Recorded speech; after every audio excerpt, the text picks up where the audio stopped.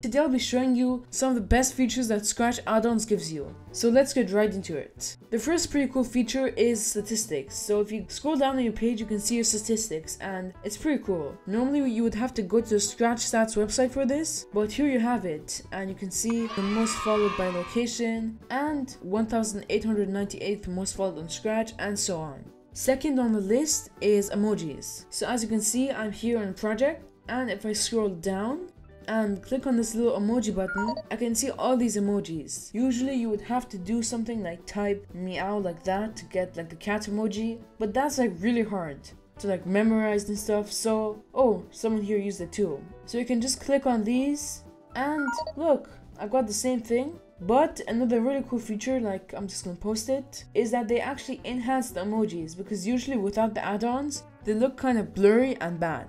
Next is profiles, because there's nothing more annoying than searching up someone's name and they're not there. So what you have to do is just click on the profile and it brings you immediately to the profile. So that will save you a lot of time. Now this one is useful for animators. So in usual animation programs, you have onion skins, but in Scratch you don't. So what are onion skins? Well look, here you can see nothing happens, but on the next frame, you can see what the previous frame looked like, like that. And you might be thinking, why is that useful? Well, now you can base your new drawing on your last one. For example, if you're doing a frame by frame animation, you can just draw over it and then like change something tiny. Like for example, let's say this hand goes like this. Okay, here's something else really cool.